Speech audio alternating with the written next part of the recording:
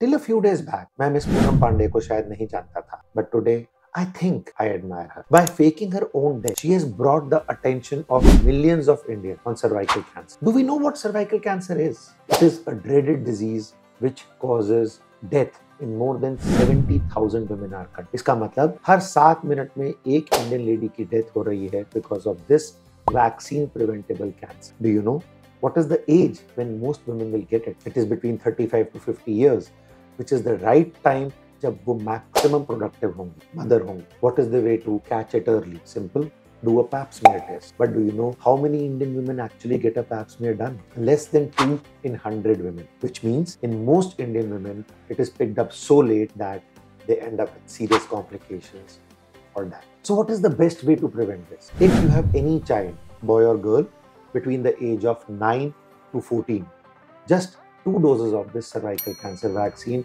can prevent this cancer for their entire life. In fact, the government of India is actually planning to introduce cervical cancer vaccine for all girls in our country. But till the time that happens, you need to make a choice. Talk to your pediatrician and get your child the cervical cancer vaccine. So I would like to thank Ms. Poonam Pandey for bringing this to our attention at the very least, even though her methods may have been a bit controversial. This is Dr. Gaurav Gupta, your personal child specialist.